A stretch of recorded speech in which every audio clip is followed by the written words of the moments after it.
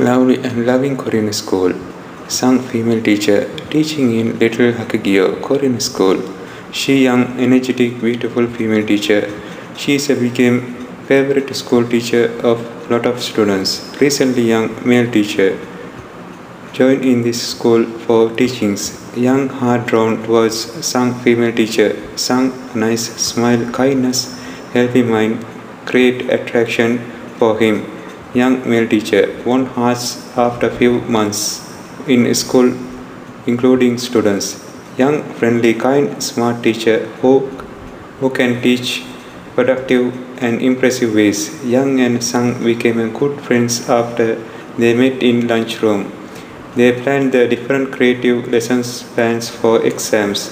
For example st- student groups activity organize answer the quizzes Sometimes they faced a lot of hardships even in a pandemic situation and bad weather conditions. Young and Sang, both teachers unite together with other teachers, faced successfully despite difficult circumstances. He notices her interesting teaching patterns and how keep children carefully. What valuable lessons she taught for little students, even in out of classrooms. He noticed how twin student sisters perform in studies, artworks, dramas.